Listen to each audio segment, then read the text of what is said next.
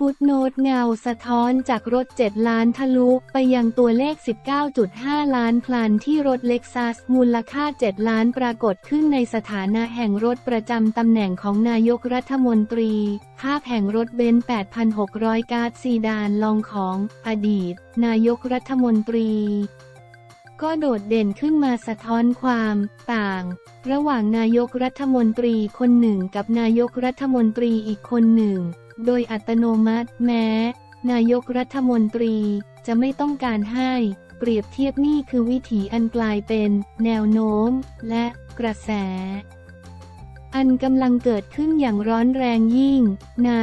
ระยะเปลี่ยนผ่านจากยุคเก่าเข้าสู่ยุคใหม่อันเข้มข้นเล็กซัส อาจเหมาะสมกับนายกรัฐมนตรีคนหนึ่ง เบนการ์ดซีดานลองอาจเหมาะสมกับนายกรัฐมนตรีคนหนึ่ง เพียงราคา7ล้านบาทกับ 19.5 ล้านบาท ก็เราเย้ายวนอย่างยิ่งยิ่งเมื่อพิจารณาว่าราคา 7 ล้านบาทเป็นเงินส่วนตัว ขณะที่ 19.5 ล้านบาทเป็นเงินงบประมาณ และกำหนดไว้ 4 คันรวมแล้วเท่ากับ 78 ล้านบาท ยิ่งชวนให้ลงลึกเข้าไปใน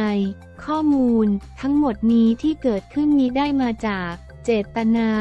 และความต้องการในทางการเมืองไม่ว่าจะจากนายกรัฐมนตรี คนใดแต่ได้กลายเป็นแนวโน้ม ใหม่ของสังคมไปแล้ว สังคมไทยกำลังกลายเป็นสังคมแห่ง การเปรียบเทียบ และสภาพการอย่างใหม่นี้เกิดขึ้น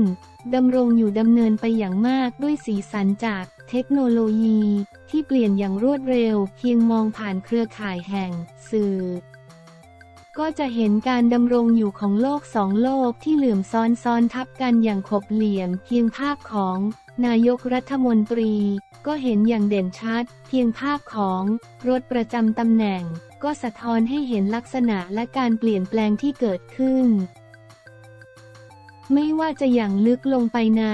ความคิด ไม่ว่าจะสัมผัสผ่านรูปธรรมแห่ง การปฏิบัติโลกหนึ่งอาจมีความพยายามในการปิดบังอำพรางภายใต้นามแห่ง ความมั่นคง แต่โลกหนึ่งต้องการให้ทุกปรากฏการณ์ดำเนินไปอย่างโปร่งใสอยู่ในแสงแห่งสปอตไลท์ไม่ว่าเมื่อมองผ่าน รัฐสภา ไม่ว่าเมื่อมองผ่าน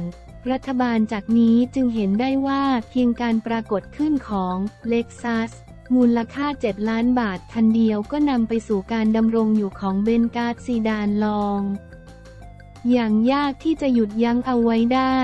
ที่สำคัญเป็นการเคลื่อนไหวจากทำเนียบรัฐบาลที่สำคัญทำเนียบรัฐบาลเป็นกองบัญชาการใหญ่อันเป็นศูนย์กลางแห่งอำนาจรัฐ บ่งชี้ถึงทิศทางและแนวโน้มการบริหารอันมีความชอบธรรมเป็นฐานรองรับ ไม่ว่าจะมองผ่าน รัฐมนตรี ไม่ว่าจะมองผ่าน นายกรัฐมนตรี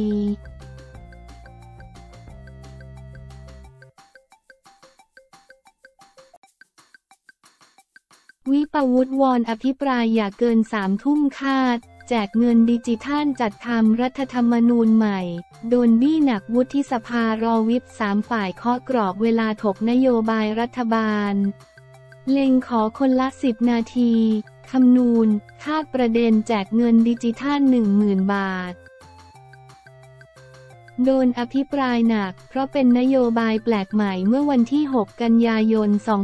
2566 ที่รัฐสภานายคำนูนสิทธิสมานสว ในฐานะโฆษกคณะกรรมาการวิสามันกิจการวุฒิสภา วิปวุฒิสภา กล่าวภายหลังการประชุมวิปวุฒิสภาว่า ได้หารือเตรียมการเพื่อประชุมร่วมกันของรัฐสภา ในวันที่ 11-12 กันยายนนี้ในการถแถลงนโยบายของรัฐบาล เบื้องต้นที่ประชุมให้ยึดถือแนวปฏิบัติ ซึ่งประธานวุฒิสภาได้ตกลงกับประธานรัฐสภาแล้วว่า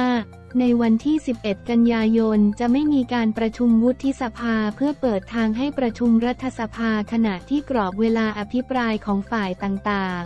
ๆ จะหารือในการประชุมวิปสามฝ่ายในวันที่ 7 กันยายน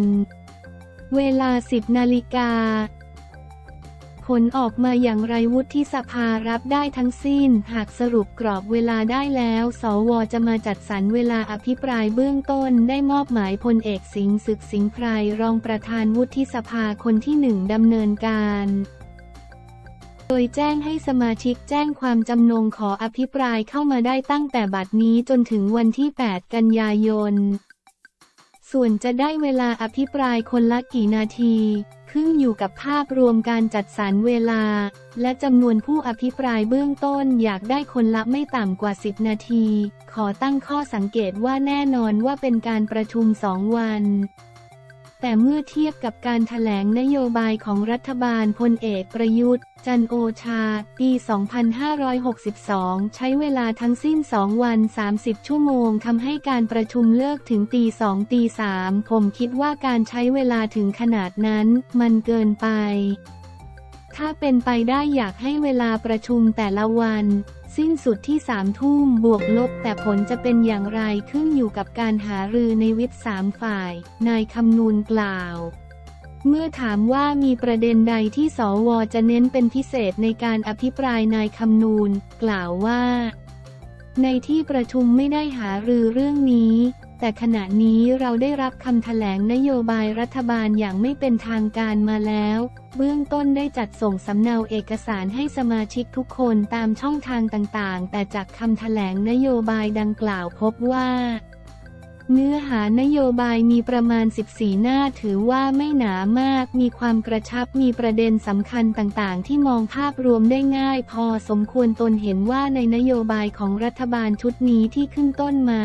คือการแจกเงิน 10,000 บาทผ่านกระเป๋าเงินดิจิทัลเพื่อกระตุ้นเศรษฐกิจครั้งใหญ่เป็นส่วนพิเศษที่นโยบายขึ้นต้นไว้แบบนี้ แล้วตามด้วยนโยบายเร่งด่วน 4 ประการ เป็นที่คาดหมายได้ว่าทิศทางการอภิปรายเริ่มจากเงินดิจิทัล 10,000 บาท เพราะเป็นนโยบายที่แปลกใหม่ ไม่เคยทำมาก่อน ซึ่งยังมีข้อสงสัยในหลายแง่มุม คงมีการอภิปรายตั้งข้อสังเกตค่อนข้างมากเช่นเดียวกับนโยบายเร่งด่วนในประการที่ 4 คือการจัดทำรัฐธรรมนูญฉบับใหม่ ถือว่าเขียนไว้ได้ดีพอสมควรตรงหมวด2ที่หลายคนเป็นห่วงชัดเจนว่าไม่มีการแก้ไขรวมถึงการจัดทำประชามติก็เขียนว่าจะมีการปรึกษาหารือให้เกิดความสบายใจทุกฝ่าย แต่คงมีการอภิปรายซักถามในเรื่องนี้มากเช่นกัน นายคำนูนกล่าว